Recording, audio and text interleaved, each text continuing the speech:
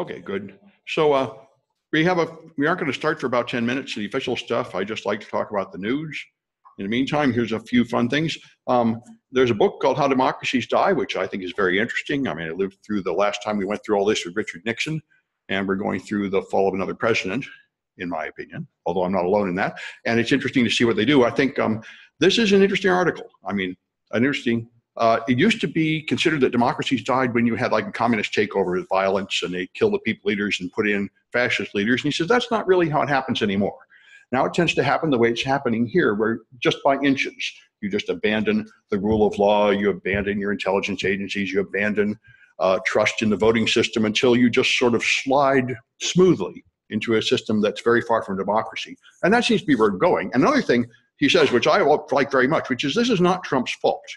Trump is a symptom. I mean, uh, Trump is a lunatic, and I don't support him at all. I don't want him in charge. But my problem is not Trump. There have always been people like Trump. They never could win the White House before. My problem is why in the world did so many people vote for him? He didn't just get the Russians to hack the voting machines. A bunch of people really voted for him. So that means we have a large portion of the American public that have an entirely different concept of how the government should be than I do. And, and that troubles me. And uh, anyway, so it's an interesting article. Fun if you're interested in politics, talking about how this happened. And what's interesting is a lot of Republicans are quitting because Trump is not a Republican. He doesn't push the Republican agenda. He violates many of their fundamental principles. And yet now Mitch McConnell says this is the greatest year for conservative in all 30 years I've been here. So it's it's a complete sellout to whatever works. Anyway, it's interesting to read this and um, talk about what might possibly be done about it. And we will see.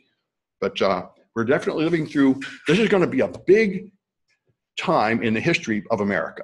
This is like the Vietnam War. This is going to be one of the big turning points when the whole country is different before and after. And uh, the people trying to figure it out now have certain insight, and a lot of it nobody really understand until a couple decades later, where they can look back with the wisdom of history. Anyway, so this is us. Everyone's everything's going to be self-driving. Self-driving cars are already in all the major cities, including San Francisco, and pretty soon you're going to be able to buy them. I think as early as next year. And so, um, one the problem is how safe are they? And um, the biggest problem is cyclists, which is also a huge problem for humans driving cars. The problem is cyclists are kind of small and they move kind of erratically and they don't look much like a car. So it is pretty easy to not see them. And a lot of them get hit all the time. I've been a cyclist for years, and uh, the cars, you know, it is pretty dangerous in that regard for cars. Um, and so AIs are no different. They have huge trouble identifying cyclists. So anyway, one proposal that's come out is to make all the cyclists wear a radio beacon, which will go to the cars so they will know to dodge you. And this guy thinks that's a terrible idea because, of course, what if you don't have the beacon? And why should you discriminate against cyclists and make them wear a beacon? And of course, if everybody had a radio beacon all the time, that would be an interesting way to make the system. It would sure make it a whole lot easier. But then, what a nightmare when your battery dies. Suddenly, every everything just runs over you because it can't see you anymore. But anyway, it's an interesting issue, and we're, we're headed there. Um, no simple answers. This one's interesting. Um, the Russians are supposedly making an intercontinental ballistic torpedo that will go through the ocean and blow up American port cities. And that is a pretty interesting idea. It used to be missiles that go up high, but if you did it under the ocean, it would be hidden. So I don't know if this is true. Um, if you didn't live through the Cold War like I did, you you may not know that the military makes this stuff up all the time. Um, they always say the Russians are doing something. Uh, there's a time when it was the Russians developing ESP and supernatural powers and magic and stuff, and the U.S. had to make compet- competing magic. And if you see, um, it, that was real. A bunch of they really did that. Uh, the CIA really had the Department of Magic trying to use tarot cards and occult and witchcraft and uh, ESP to counter the Russians' efforts because you, if they could really do that, that would be awesome, and we would totally need a countermeasure. Um, anyway, so, but anyway, it's an interesting idea, interesting to read about. Um, not entirely clear what we should do about it, but certainly one of Trump's big ideas is to increase our nuclear arsenal, which is something many people for decades have thought is not a good idea but Trump loves the nuclear arsenal, and we're, we're increasing ours now. So this is part of the uh, justification for it. Ethereum is the general purpose blockchain that lets you put any program you want on it, so you can put a lot of games on it. But um, as I mentioned first lecture, everything in cryptocurrency is pretty much crooks. The point of cryptocurrency is to baffle you with some complexity so you feel sort of stupid and then pick your pocket while you're confused. Um, so they made a lot of gambling systems in cryptocurrency. And now this guy went in and he found out the same thing I found out when I looked at Android apps that if you have a bunch of developers, a large number of them do not know what they're doing at all. And in particular, a large number of people writing gambling apps do not understand random numbers. So they just use something stupid for the random number to shuffle the cards, and it's predictable. And he found, she went through the open source. Uh, that's another good thing about Ethereum. Everything on Ethereum is public. So you can see the source code for anything that's running. And so he went through it and he found um, are 72 random number generators and 43 of them are vulnerable. So he talks through various things you can do wrong. Ultimately, the fundamental problem with random number generators is entropy. You have to have some number to start from that is unpredictable, and yet computers don't have anything about them that's unpredictable. So you hunt somewhere for something that might be unpredictable. So people use things like a hash of a block on the blockchain which is how the numbers game used to run in New York City. I don't know if it still does. They would take like the last two digits of some price on the stock market, which was supposedly impossible to control, and that would be the number you gamble on. But of course, that's something that can be observed by someone else. Another thing he says is better. Some of them use a future block on the blockchain, like 10 blocks ahead for the random number. Um, and hopefully that's unpredictable. But then he says there's a way to control the order in which blocks are processed and trick it into processing that block before this block so you find out what the number is. So anyway, it's, it's interesting. Uh, this is a very difficult problem. Security in general is a very difficult problem, and almost everything people code is insecure at first, and they have to add more and more confusing things to it that the original developer doesn't really understand to make it secure. Um, and uh, cryptography is probably the worst. You can write a cryptographic routine that seems fine and has a terrible flaw. That's usually what happens. You really have to be very careful with cryptography. It's very easy to leak out secrets. So this is Troy Hunt. Troy Hunt is an Australian researcher, Microsoft oriented. He does a lot of online courses. He's a very smart guy. He does a lot of very good things, writes a lot of good articles. And this one here is about the ease of disclosure. I've given talks about this and hope. If you find a security problem in somebody's product, which will happen all the time once you learn how to do basic security reviews of things, typically there is no way to tell them. Nobody cares. Nobody wants to hear. If you can, if if you contact the company, you will just get someone that will say, "Are you buying our product? If not, just go away." Um, if you do reach somebody, they will typically punish you. Blame you for it, sue you, say you're hacking them, say you're extorting ransom. So most professionals, the general advice I've been told by all professionals, and I've come to realize this is the correct advice, which is if you see someone has a security problem, just shut up and let them get hacked. That is the professional thing to do. Because if they are too stupid to have a bug bounty program or security or an official security disclosure policy, then they are too stupid to talk to. They will never understand you. They will never fix it nothing good will come of getting involved.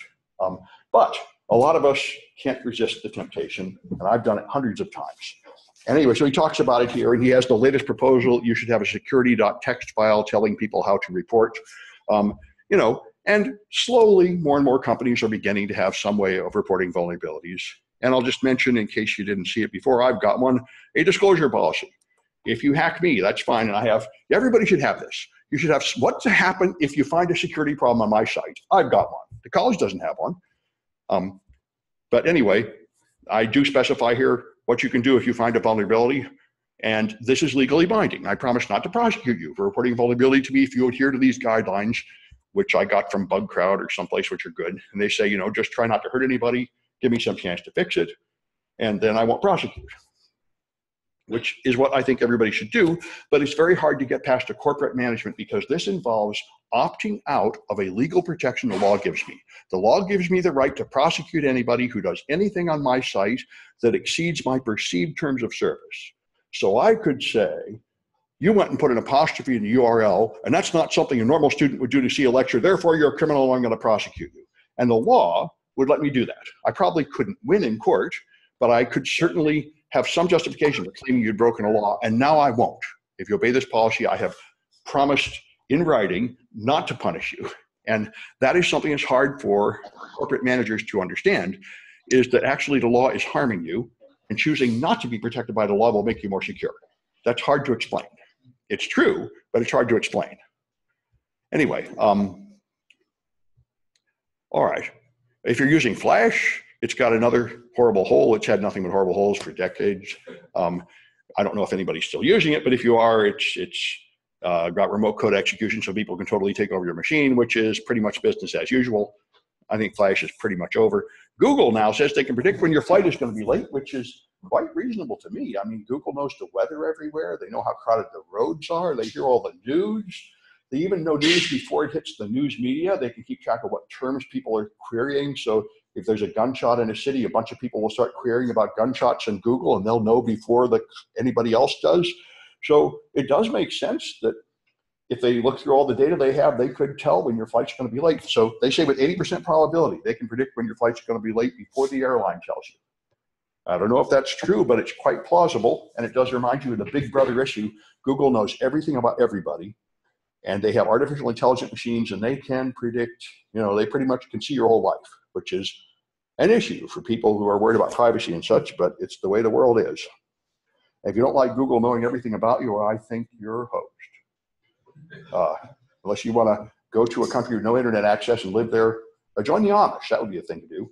Uh, grow apples and get horses and live in a world without technology is about the only thing you can do to prevent Google from knowing everything about you. And they're going to spy on you with satellites and know everything you see everywhere you go with your horse. Even then, I don't know what you can do. Anyway, um, so this is kind of fun. The web application penetration testers make supposedly 100 grand and up, which I imagine is true. And if you went to the job fair, they were there was one company they were hiring pen testers. They were hiring interns, the NCC group.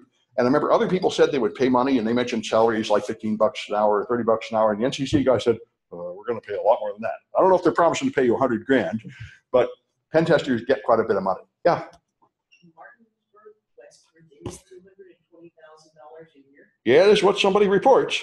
Um, you got me. What the hell is in Martinsburg, West Virginia? You got me. I don't know. It might well be that they just put up a survey and only one person answered in that state or something. You know, I don't know their procedures here. So take anything like this with a grain of salt. What's that? It's near your DC. It's near DC. That could be. Yeah, not West Virginia. That's why I'm real weak on geography. I kept flunking, so I can't tell you. Anyway, all right, so it's time to get up to the official stuff here. Uh, we're on chapter three. So let me bring that up. And uh, all right, got a few things to do here. Okay, so uh, we're down to the computer attacks. Last time we talked about the basics of networking. And so here's some stuff. We're going to talk about uh, malware, uh, what the normal uh, news media call viruses, which includes viruses and other types of attacks, if you want to use the technically correct term. Um, and we'll talk about the defenses such as they are and some physical attacks. The right term for anything bad on your computer is malware, some kind of stuff that does harm. Uh, this is what most people mean when they talk about viruses. Technically, viruses are one particular old kind of malware that spread a certain way. Um, but most people prefer to use it because they think of the biological world where it's like the cold and spreads around. Um, and these are things that do something bad on your machine, typically destroy data, render the machine unavailable, cause a shutdown, steal your data, the sort of thing that you don't want happening. Uh, viruses are technically the things that attach to an executable file and that reproduce when you run that file. And these were popular in the age of floppy disks long ago when you would put files on a floppy, take it to another machine and plug it in, and when you run it off that floppy, it'll infect all the other things on there. This was the original kind of virus. That particular kind of virus is pretty much extinct because floppies are pretty much extinct. That's not how people transmit programs that much anymore, but they do still exist. Um, antivirus software was intended for that threat, but most antivirus software now tries to detect all types of malware. Um, and it will run something on your machine, which has to hook itself into the heart of Windows called the kernel. And now if you try double click on a file, which ought to launch it, the antivirus engine has to grab that action away from the operating system and scan the file to see if it's on a list of bad files. And if it is, not open it. This means that antivirus software has to alter the fundamental process of the heart of your operating system. And therefore, if your operating system has any security measures, the antivirus software can subvert them. And this is why Tavis Ormandy at Google has spent the last five years analyzing the security of antivirus software, and he has found, like every other category of software, that since they have not been examined previously by competent uh, auditors, they have been doing god awful, horrible things. And he could take over machines right through the antivirus. Sophos on the Mac, he could totally take over your machine right through the antivirus because the antivirus gives itself permission to mess with the heart of your system, and therefore it's another threat avenue. However, this does not mean you can get away without using antivirus on a Windows system. most people are much better off using antivirus. That is my personal opinion, although I cannot prove it with statistics. So most people should run antivirus. If you have Windows or Android, there are so many low-level attacks out there that you will stop them by running antivirus. But you should be aware that the antivirus software itself has weaknesses. And there's a and now, um, like every other category of software, competent researchers are pointing out the flaws in it, and it's having it's causing upgrades. So you know they you shouldn't expect it to be any better than your word processor, or your browser, or your operating system, or anything else. Everything is just written by normal humans, and a bunch of the code they use was inherited from 10 years ago when nobody thought about security at all. So everything is all full of horrible mistakes, and it takes a long time to clean them all up. So there are a lot of viruses out there, Gumblar and Slob and names like this. They spread throughout the world. Um, there are various ways to evade tools. One way we talked about before is base 64 encoding, where you take files and encode them with capital letters and plus and minus and numbers and lowercase letters. And the only point of this is it'll scramble something and a sloppy antivirus engine won't detect it anymore because it'll look different. Um, antivirus products claim that they look at a series of code bytes that will identify the virus, but in fact, a lot of them do appalling things. Uh, they had a contest at DEF CON about five years ago to sneak malware past antivirus. And I started doing it with Python, and it is much, much, much easier than you would ever believe. And there are cases where all you have to do is right click on the file, go to properties, and change the name of the author, and now it passes through the antivirus because all they were doing was looking at the name of the author instead of looking at any important part of the file. Um, and this is because not simply because the people that write the antivirus products are lazy or stupid, although that contributes something. But the other thing is, people hate false positives. If you have a false negative, a few viruses get through, most people won't notice or care. If you have a false positive, you try to run legitimate software and your antivirus blocks it. That really annoys people. So they have to set the sensitivity very low. So it will never block a legitimate application or the customers won't put up with it. And that means it has to let a lot of bad guys through. So uh, that's how you encode base 64. If you have Oracle up here in eight bits per, per, per byte, it's this string of binary. And if you break it up six bits at a time, the first six bits of this byte go here, and the first two bits, last two bits go here, and the first four bits of that go here. So this a string of characters turns into T1J BQ0XF in base 64. It is not encryption. It is trivial to reverse if you know what's going on, but it will make it look different. And this is what people use. Microsoft uses this to hide your Internet Explorer favorites in the registry to supposedly protect your privacy. Oh, to, no, they use ROT 13, which is even dumber. Um, this is how um, base, this is how basic authentication sends your traffic over the internet. Uh, this is a way to make it so you can't trivially read the code, but anybody that knows the system can easily reverse it. This is called obfuscation, where you make something a little bit hard to read, but you haven't really encrypted it. If you've encrypted it, that means it should be difficult or impossible for someone who is unauthorized to read it. And obfuscation just makes it look like it's encrypted, but it isn't. This is true of a lot of supposedly encrypted products like Cisco passwords. Cisco configuration files are typically posted in publicly available forums and the default Cisco encryption routine until about eight years ago was one that was just obfuscation. It would look really encrypted. It would take your password and turn it into something about 100 characters long, but it was just a trivial reversible routine like this. Um, and people thought it was encrypted, so they would publish these files everywhere. I found a major healthcare provider who just published that file publicly. And I went through backdoor friends of friends to inform them that your password has now been published on the web and uh, the response I got back was that password is not a security boundary, which is code for uh, we'll fix it, but we don't want to admit anything was wrong. Because um, passwords are, of course, security boundaries, but it is not considered, it is not wise in the American legal system to ever admit you did anything wrong. So you have to lie. That's how the game is played. Anyway, um, so there are base64 decoders out there. A shell is the most common thing you're getting from malware. This is something gives the attacker remote control of your system, and we're, we're doing it in the uh, exploit development class. Let me just uh, mute these guys. There was a problem in a previous recording where I was not at the keyboard, and these guys were all miserable because they were irritating each other, and I didn't know, so I try to remember to mute them. Um, macro viruses are very easy for the attacker to write. They're written in Visual Basic. And Microsoft Office has a recorder where you don't even have to know any coding at all. You can turn on the recorder like a cassette tape recorder and then do things that will record it and stop it, and then you can play it back. So you can write a virus that way without even knowing any coding. Um, and that's the way some of the early ones were, like Melissa and the I Love You worm, that would send a copy of itself to everybody in your Outlook um, address book and then reformat your C drive. You could do all that with basically no programming skill at all. So um, a lot of people can create macro viruses. There are instructions all over the place. Some people think I shouldn't be teaching this class or ones like it. This all started about 12 years ago. A guy in Canada had a programming course in writing viruses. And everybody screamed and yelled about whether that was a good idea or not. But I said, hey, I could start writing, I could start teaching hacking. A couple years later, I started doing it. Um, anyway, you do have to think like attackers to protect people, just like military people have to practice attack to understand defense. And people have pretty much given up screaming and yelling about that now. Um, so the Angler Exploit Kit is one of the many exploit kits out there. Oh, and I think I've got the wrong, no, I got the right version. Okay, just have another pay slide coming up pretty soon. So the, there's exploit kits go out there. These are what they sell to the bad guys. Zeus was one of the early ones. Um, you actually pay a license fee and you actually get a product key and they actually turn it off if you don't have a valid product key. The underground criminal economy is just a mirror image of the above ground economy.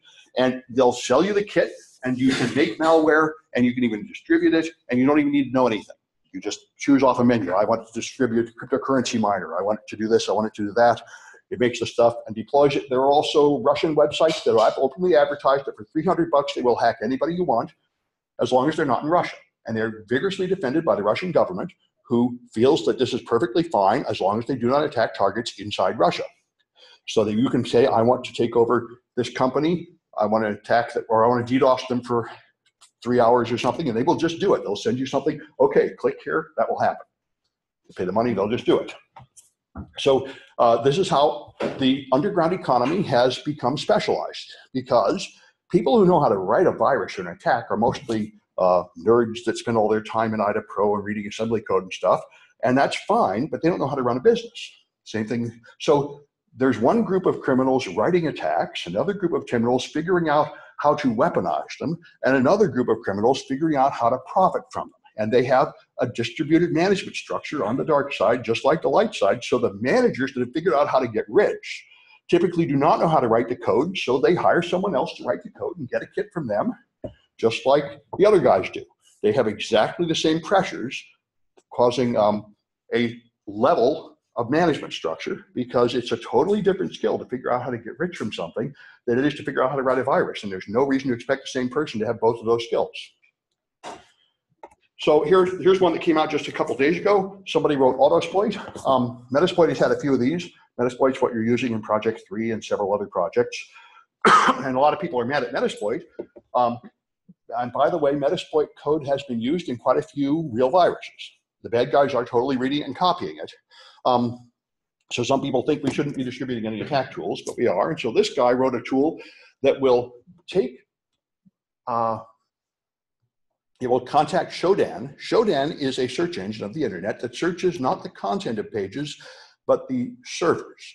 It finds out what version of what operating system and what software you're running on a server and fingerprints that, and that's all it tells you. So you, it tells you what all the devices are connected to the internet, what brand and model and what version of everything they have. So if somebody publishes a vulnerability in some product, you can now go to Shodan and find all the web connected versions of that product that are out there. So this tool will automatically go to Shodan, find vulnerable sites, and automatically hack them with Metasploit. And the reason people complained about it is that this has no apparent legitimate purpose. I mean, the legitimate pen testers are trying to hack into one company. This just finds random people on the internet that are vulnerable and hacks them. And this is what script kiddies do. They'll put their name on like a thousand WordPress blogs. By a WordPress vulnerability comes out, they find the people haven't updated. They update, they infect 10,000 random WordPresses, and now their name is out there. They don't really benefit from this in any great way, although smart ones do learn how to make money from it by then taking them over and selling them as a DDoS army or something. But anyway, it's it's something you would do if you're a criminal. You don't care who you hurt. It's not something a legitimate professional would do as part of a pen test. And it did lead to quite a bit of people yelling and pointing fingers at each other. Um, in America, it's probably legal to write this tool and release it. Um, my lawyer tells me if you do anything and it has any good side, it's okay in America uh, if you say anything. Free speech will cover you unless it's totally malicious. And so people that wanted to actually prosecute someone for this, which I've not heard anyone say, would have to claim that this is totally malicious and has no beneficial side. And uh, if that's true, then it's like yelling fire in a crowded theater, and that is the limit of free speech. You are not allowed to say things that just cause harm and have no good side. Anyway, um, so worms are what most, yeah, Um, so the information that's on Shodan, is it possible to obscure yourself from Shodan? So yes. types of vulnerabilities are. Yes, I'm glad you mentioned it. And I put that on news. Uh, somebody wrote a tool. All you, Shodan scans the internet from four known IP addresses. So all you have to do is block them in your firewall, and then Shodan will not scan you, and you will not appear on a list. Which, by the way, is a pretty good idea. Yet one of the basic things you could do at your firewall, you should do at every company, is block Shodan and block Tor. Tor is the anonymity network. There are a small number of people out there who have political desires for anonymity and they are legitimately accessing your site through Tor. But for every one of them, there's a thousand criminals that are doing something rotten over Tor. So if you're a company and you just want to serve customers, you're generally best served by not letting anybody come in through Tor. Um, and uh, the same thing, I think, use Block Shodan because it can't really benefit you. It's a good point. Anyway, so worms are what really uh, most modern attacks are. These are things that replicate through the internet by email or downloads or something. And that's how people typically get software these days. They don't move floppies and CDs around much. The code red worm spread through the whole world in a short amount of time.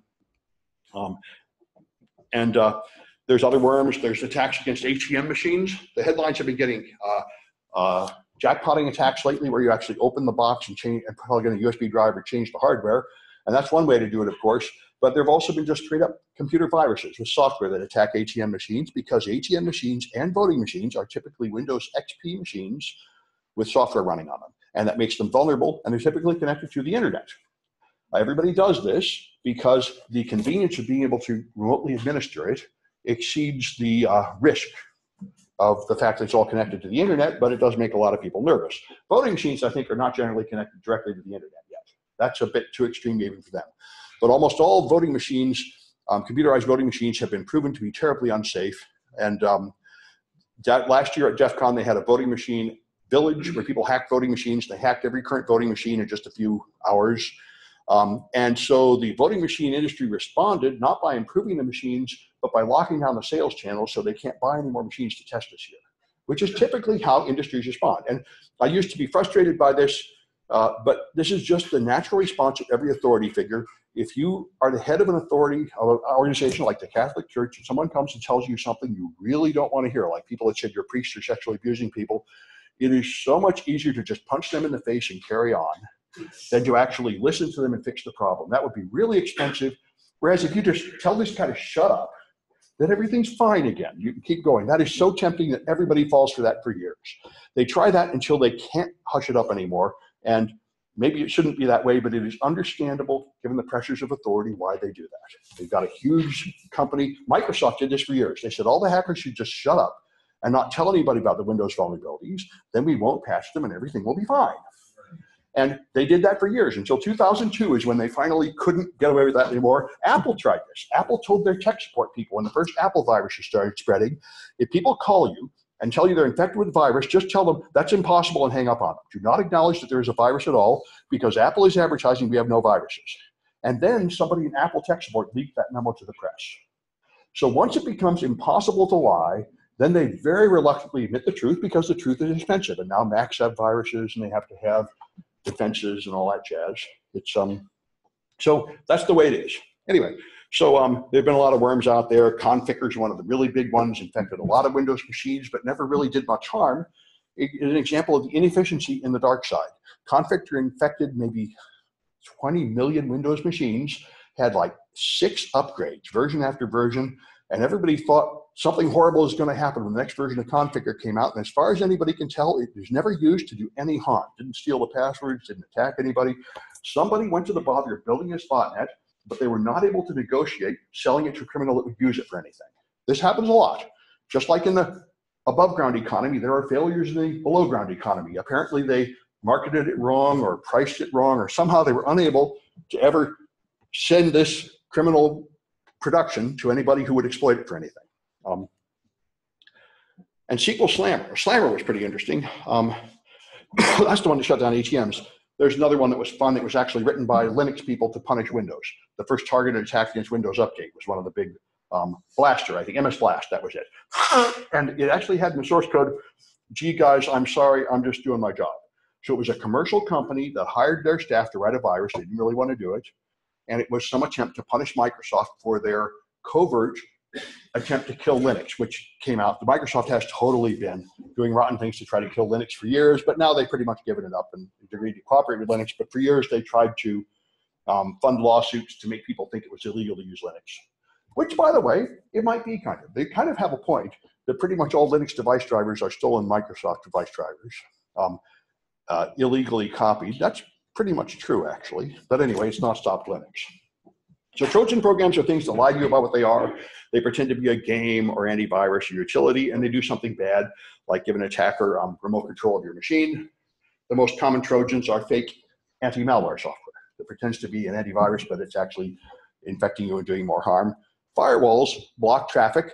Uh, the old original firewalls just looked at the port number and blocked certain ports. That's the most primitive defense. That is very easy for an attacker to circumvent, and it's pretty weak these days. Um, but there was a time, maybe 15 years ago and earlier, when malware would actually use goofy ports like 6969 and 4661. And if you block those ports, you block the malware. Now everything pretty much goes over 80 and 443 because they wised up. So that just blocking by port number doesn't do you much good anymore.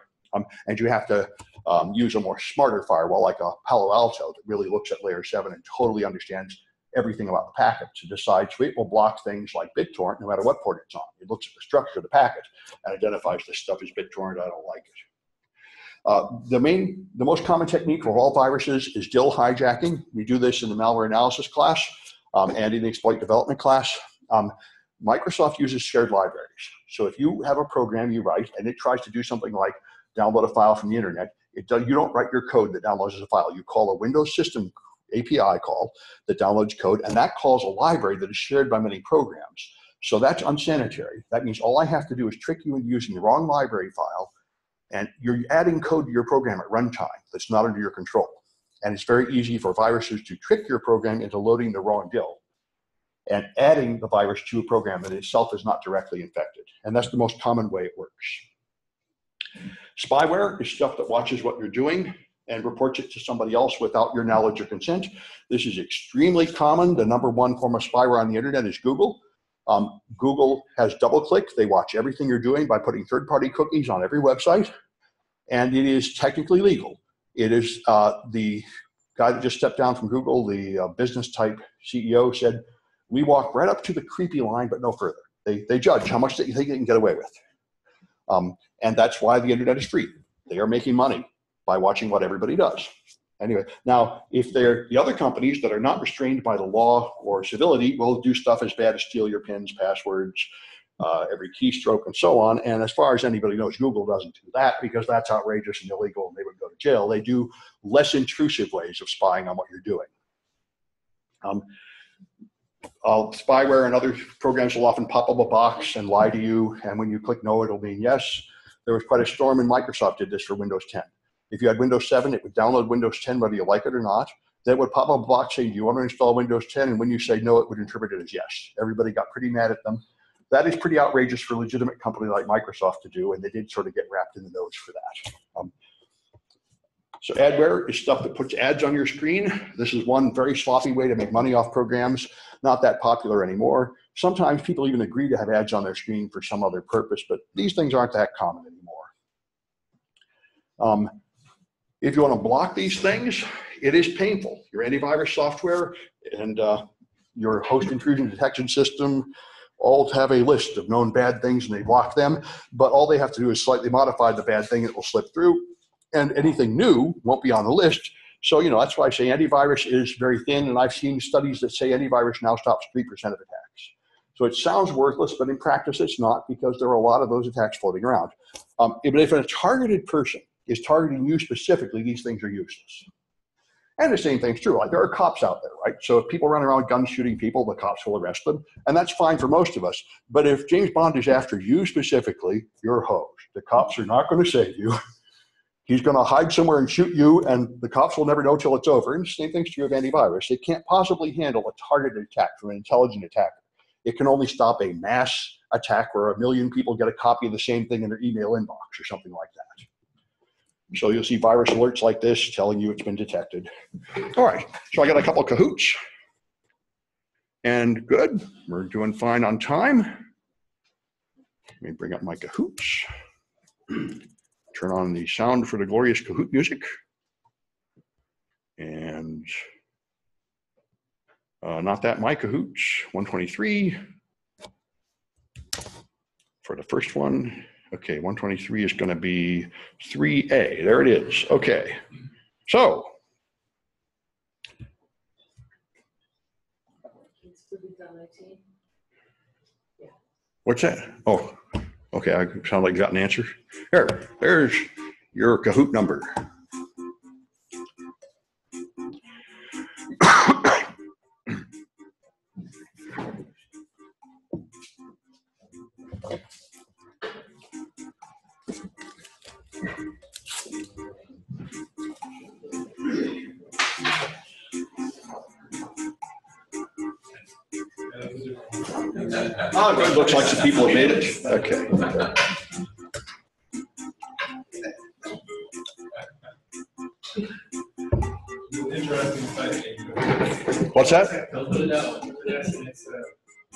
Oh, if you spell Kahoot wrong, you hit a porn site or something? Yeah. Well, you know, that's, that's true of a lot of things. Yeah. They call it typo squatting. Yeah. That's why I'm glad I'm, I'm glad I'm teaching adults. Because people who teach like high school and grade school, they end up in a world of hurt if a bad word appears on the screen or something. And it's very hard to prevent it, you know, like, like somebody could use a bad word for a name and, ooh, if it was high school, I'd be like locked up or something, but it's college, so it's not the end of the world. Although, please don't take that as a challenge. Uh, anyway, um, there's a bad word. I'm getting rid of that one. All right. Anyway, all right. So, uh, guess I'll wait a few more seconds.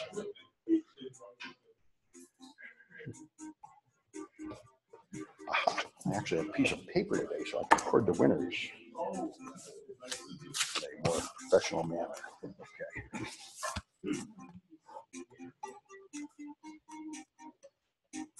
All right, so I'll wait another 10 seconds. I think we may have enough people.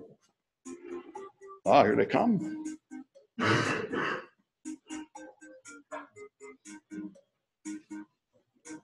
All right. So, there you go. Okay, which threat is attached to an EXE?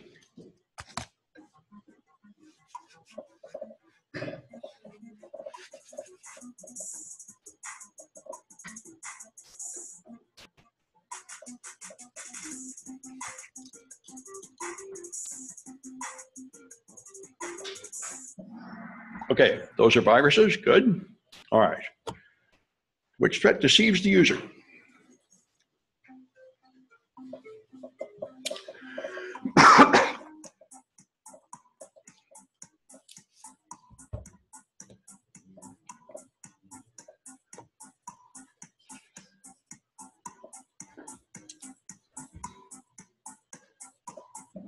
Okay, that's Trojan, like the Trojan horse.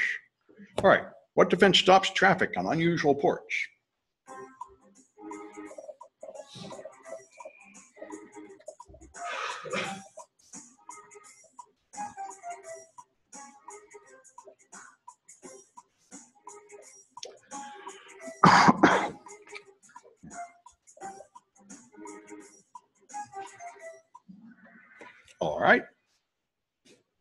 And what defense blocks known malware?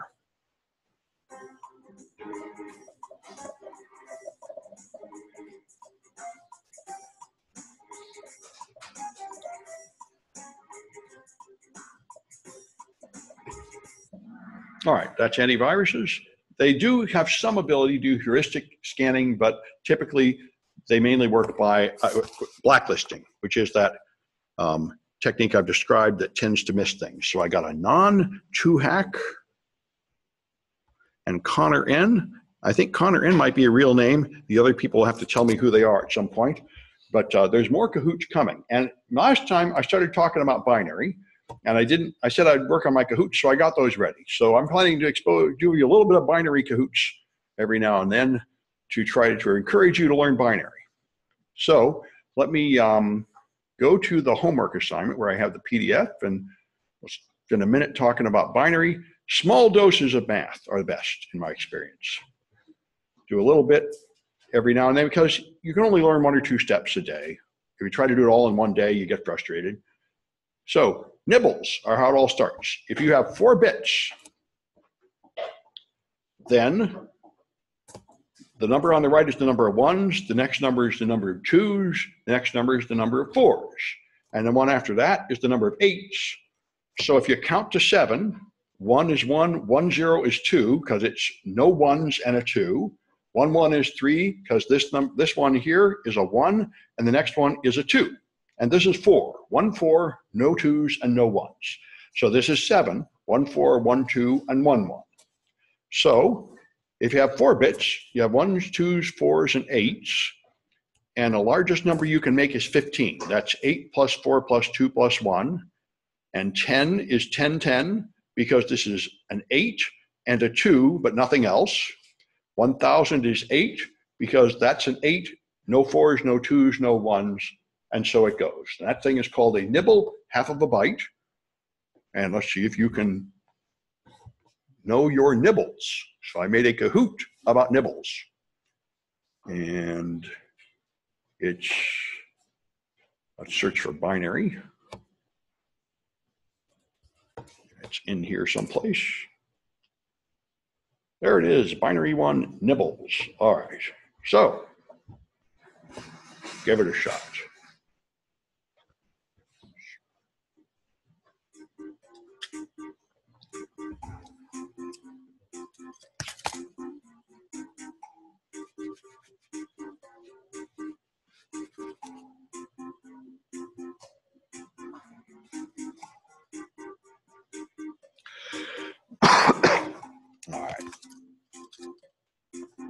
Good. I think we had 31 before, so.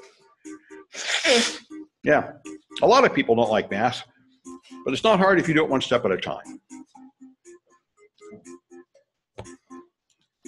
I had a student was on the warpath about math for years, and then after he left, he went and took algebra and got it right. And, you know, it's, it's not any harder than anything else. People just get an aversion in fourth grade when someone teaches it to them wrong, and they try to avoid it forever. And you can't totally ignore math.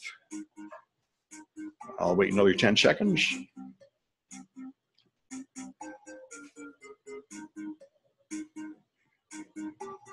All right. So, okay, what is that in base 10? 0b is the prefix for binary. So that's a four digit binary number, 0011, a four bit binary number, I should say.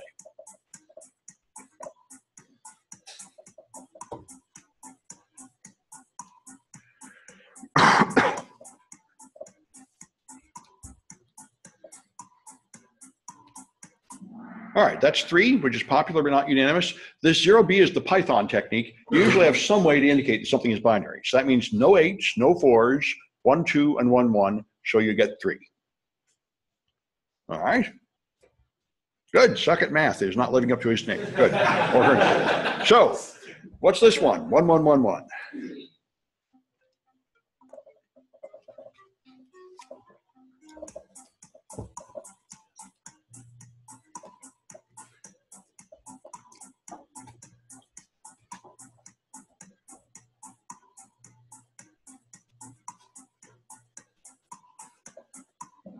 Okay, that's 15. The biggest number, 8 plus 4 plus 2 plus 1. Good. All right. How about that one?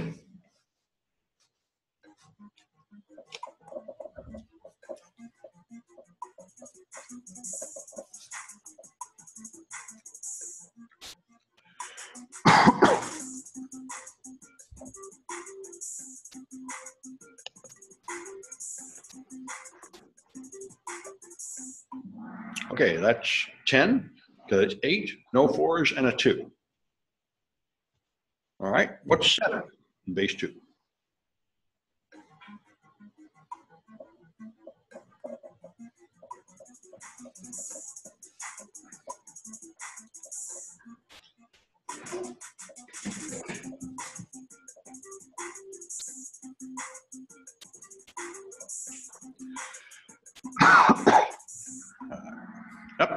1, 4 plus 2 plus 1, and no h. All right? What's 6?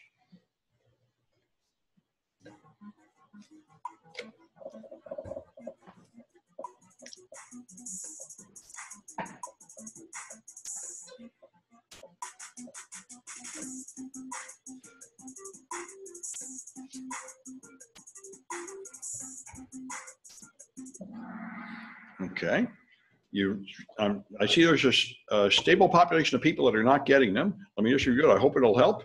But let me know if you want more about this after class. The number on the right is the number of ones. The next number is the number of twos. This is the number of fours, and that's the number of eights. So this is no ones, a two, a four, and no eights. So two plus four is six. That's how it works. Let's try a couple more of these. What's 14?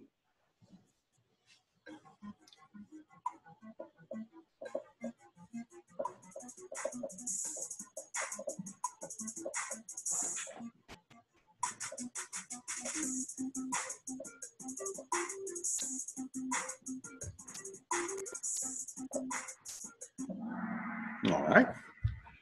That's almost 15, one shy of 15. What's that?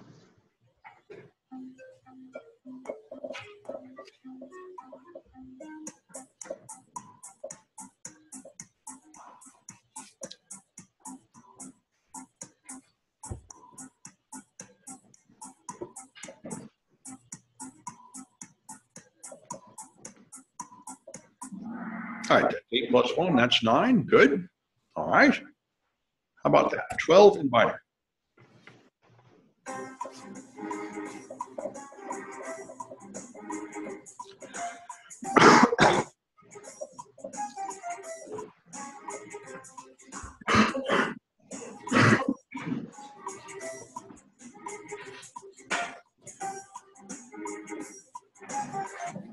All right, eight plus four. Okay, I'm going to record these winners. Eli, W, Connor, Connor N, that's good. And Louise. All right, so um, let me turn on my sound so I don't have echoing back through. And I should mute these guys again so they don't irritate each other. All right, well, we're a little bit before the hour, so let's just do a few more of these slides and then we'll take a break when we hit the hour. Um, we're doing fine with time here. So that was the math. And why is this thing not moving? All right, so. All right, what's going on with my crazy machine? I guess Kahoot must be bogging it down somehow. Such is life. Wow, neat. So uh, you have to train your employees. Uh, some people argue it's useless to train your employees, and you should just make defenses that work even when your employees are just dumb monkeys that click on everything. Um, but most people think it would be better to teach them something so that they make less mistakes. Anyway, um, various techniques have been used. You certainly have to update all your security products automatically. If out-of-date signatures are no good, most uh, malware spreads through the whole world very quickly in a day or two, and if you have last week's antivirus signatures, they aren't really doing you much good. Uh, Spybot and AdAware are some of the big anti-spyware companies out there. There's a lot of firewalls, um, and there's intrusion detection systems you can put on, and we have more about those in the uh, network security monitoring class. Um, one big issue in this whole business is FUD. Uh, because the internet is confusing, there are a large number of people who lie to you to make you scared and then pick your pocket while you're scared. Essentially, everyone in the cryptocurrency space does this. And before then, it was an incredible number of people in the security industry would scare you. This is now the fake tech support. They'll call you on the phone. Microsoft has detected viruses on your computers. I'm here to save you from India. I just let me have remote control of your machine and I'll scare you to death by showing you something like the event log full of errors, which every machine has, or something like that. And then I'll, you'll install our stuff, which for which you have to pay a pile of money, which will supposedly save you from that scary threat. Um, this is not that different than people used to sell charms to people. And I've heard this happens in Chinatown still. They go to some family and say, someone, a witch has put a curse on your family and they're all going to die unless you buy our magic charm. It's very similar. And you, if people have something they're afraid of, you can get their money this way. So it happens. It happened to the college.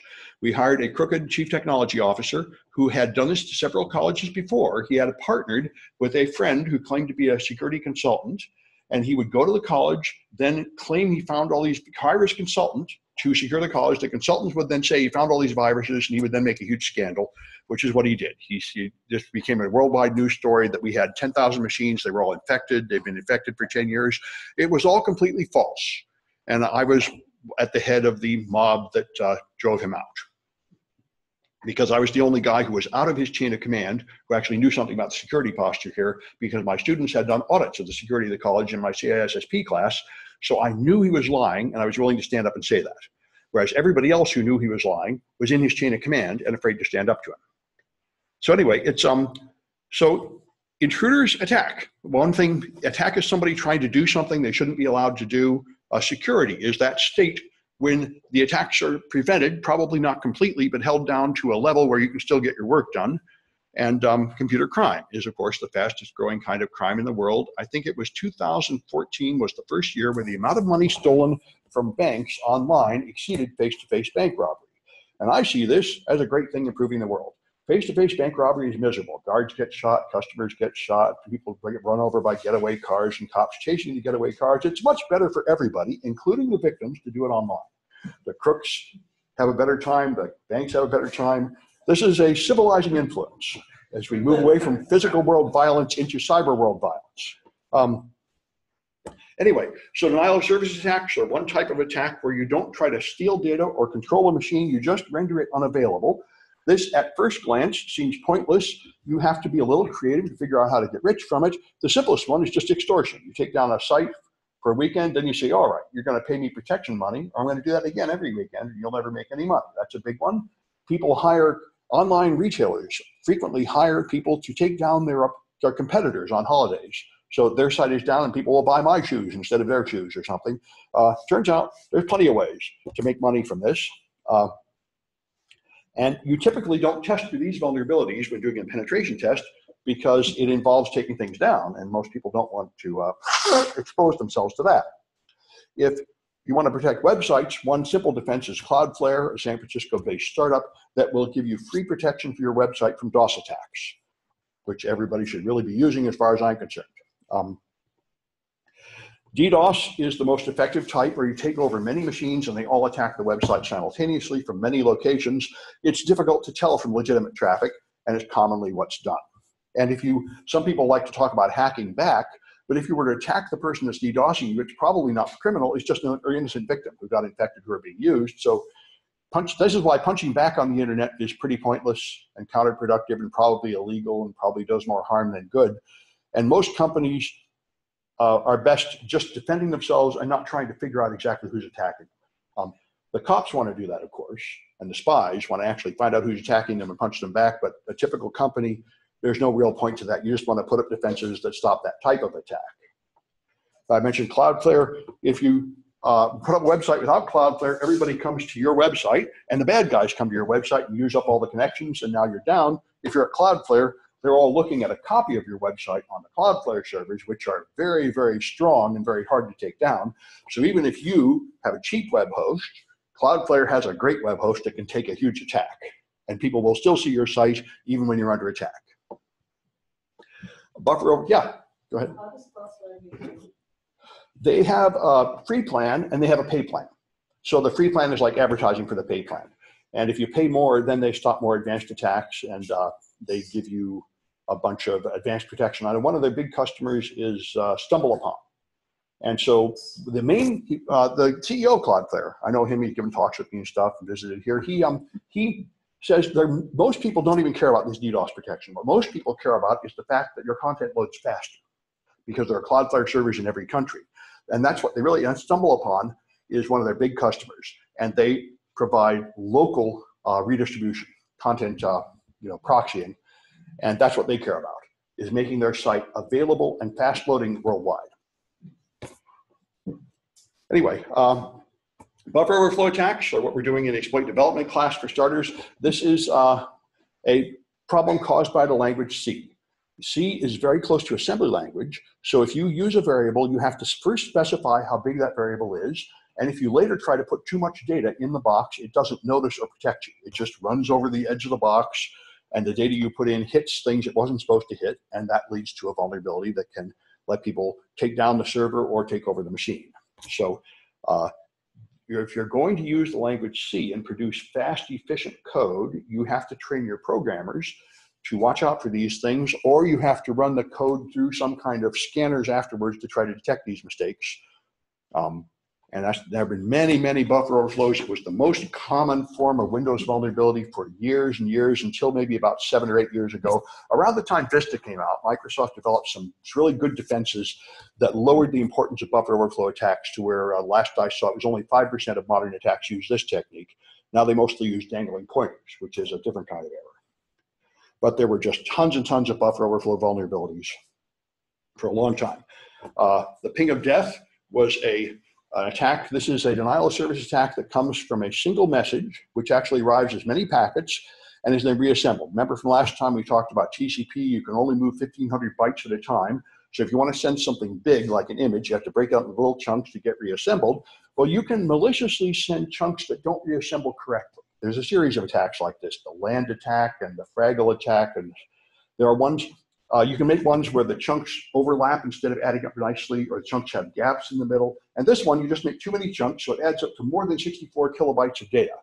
And that led to a clash of systems back in the days of Windows 95. They just didn't think of that. So if you sent a ping that added up to more than 64 kilobytes of data, it would assemble it, overrun some buffer, and crash. And so you'd send one ping, and the server dies. That was the ping of death. And this keeps coming back over and over and over again in different forms. A single packet wipeout. There's one at the last DEF CON. On the airport on the way home, I was waiting for my plane, and someone said, You can set it SMB Loris. And I got it working right there and put up a video. It was bloody awesome. You could send a server message block, request to see a shared resource, and do the same thing. Overrun something, and the server's hosed. Um, this keeps on happening. So there was another one in 2013 on IPv6. You could bring that machine with a single ping. And uh, here's how it works. If you want to do this, you can fragment things up. There's a program called Fragrouter you can run, and it will break things up. So here, you send a whole bunch of packets. So a normal ping, here's a ping that's 60,000 big, and it will send us a whole bunch of packets, 1,500 bytes each to get reassembled. That's the normal transmission. And if you use Fragrouter, which you can do with Kali, this is an old program, this will artificially break things up even more than you have to. So now if you send a ping, it will be in packets that are only eight bytes big, sending just a few eight bytes of data, so thousands of packets or hundreds of packets adding up to it. And the point of this is your network defense systems are typically helpless now because they only see eight bytes of it at a time. And the only way they could defend you is by delaying traffic until they can reassemble the whole thing before retransmitting it. And that's typically an unacceptable network delay. So this is a way to sneak past defenses by breaking your attack into little chunks that are reassembled at the other end. Session hijacking is a technique to take over someone else's session in progress, typically after they've logged in. You take over their session, now you ex- execute commands with their credentials. Um, we talked about that last time. The original technique was by predicting TCP sequence numbers. The more modern technique is by stealing a cookie and replaying a cookie. Both of these let you take over someone else's session without their password. You can be interpreted as them by the server, even though you did not really log in. They logged in and then you took over. Um, physical security is also an issue. I'm thinking it's probably time. Yeah, let's take a break until 10 after 10. I'm going to pause the Zoom at this point. Uh, we'll pick up at uh, 10 after 11. We stop the Zoom. And if you uh, if you want the Kahoot,